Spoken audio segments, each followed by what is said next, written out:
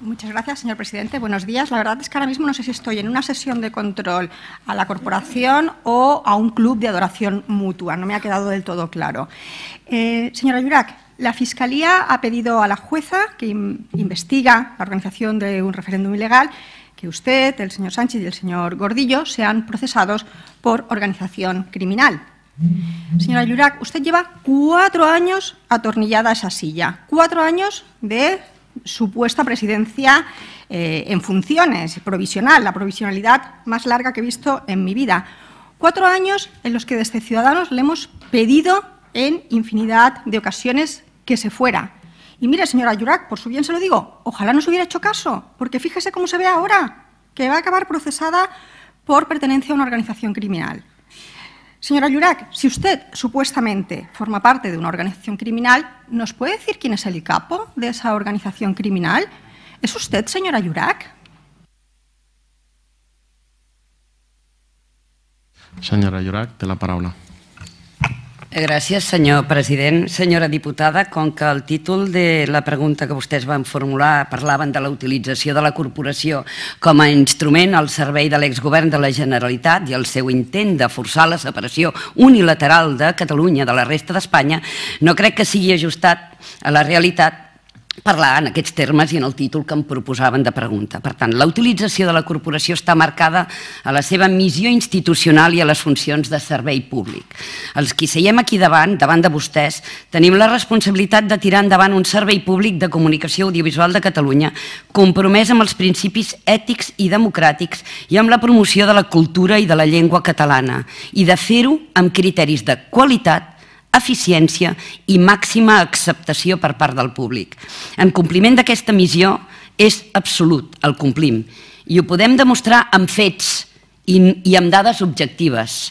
El resultat és som la televisió líder de forma consolidada. Catalunya Ràdio està en les seves millors dades històriques. Som líders d'internet i de consum digital. Som referència informativa indiscutible i líders en qualitat. Som els mitjans més plurals i amb més diversitats de veus. I som admirats per la qualitat de les nostres produccions a nivell internacional.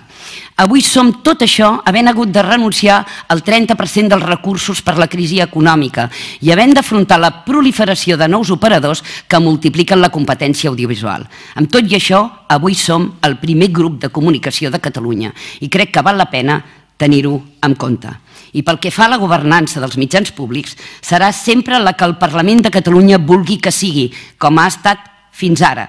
I fins al darrer dia que tingui les funcions de la presidència, abocaré la meva dedicació i professionalitat al capdavant d'aquesta empresa. Gràcies, senyora Sierra. Té la paraula.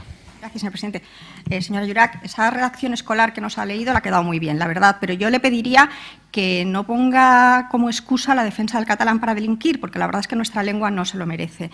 Yo le he preguntado si usted es la jefa de una organización criminal, porque es que eso es lo que parece, según las palabras del abogado de su compañero, del señor Saúl Gordillo que él opina que usted le tendió una trampa al señor Gordillo para hacerle responsable de una ilegalidad que el pobre no quería cometer. Y su abogado llega a calificar la presión que usted ejerció sobre el señor Gordillo de indecente, son palabras textuales. Y lo más grave de todo es que el abogado del señor Gordillo la compara a usted con una comisaria política de la URSS. Pero señora, señora por el amor de Dios, que hecho usted para que la comparen con una comisaria política de la URSS. Y para demostrar estas afirmaciones, el, abogado del señor Gordillo presentó una serie de correos y mensajes de WhatsApp y le cito textualmente uno que dice, usted le dice al señor Gordillo, tú y tu conciencia sabréis, pero recuerda que entraste en la dirección de Cataluña Radio avalado por tu compromiso y la confianza que determinada gente depositó en ti. Fin de la cita. Señora Yurac, ¿a qué tipo de compromiso se refiere usted? ¿Qué tipo de compromiso adoptó el señor Gordillo para poder ser director de Cataluña Radio? ¿Con el procés, con un referéndum ilegal, con un golpe de Estado? ¿Qué tipo de compromiso es ese? ¿Y quién confió en él y por qué? Porque es que lo que parece es que usted considera que el señor Saúl Gordillo no tiene méritos para ser director de Cataluña Radio y que el único mérito es una cláusula pro separatismo. ¿Puede contestar estas preguntas o tiene otra redacción escolar para leerme? Gracias. Gràcies, senyora Llorac. Té la paraula.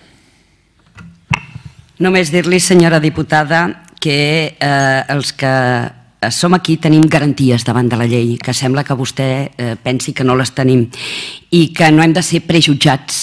Ja veurem quan acaba el judici. Vostè ja m'està sentenciant abans de que hi hagi el judici. I com que el tema està subjudice, jo no afegiré res més a aquesta qüestió.